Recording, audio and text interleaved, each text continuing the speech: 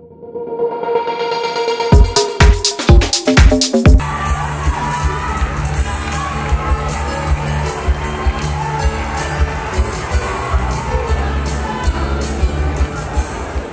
evening everyone. Congratulation. At ah, hindi po talaga ako sanayan sa ganitong mga award. Pero dahil po sa na-recognize niyo po yung talento ko, maraming salamat po sa inyo.